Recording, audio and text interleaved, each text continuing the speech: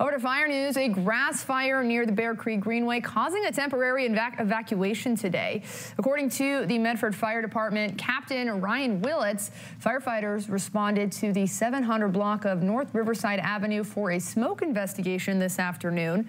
Captain Willits said a tenth of an acre was burning along the greenway, threatening the structures on the other side of the fence. A section of fencing was taken down to gain access to the fire origin area of where the grass fire appeared to have started is looked like a, a travel path along the greenway, but as far as that, it was pretty small in nature. He says there were no injuries or fatalities. The cause of fire remains undetermined.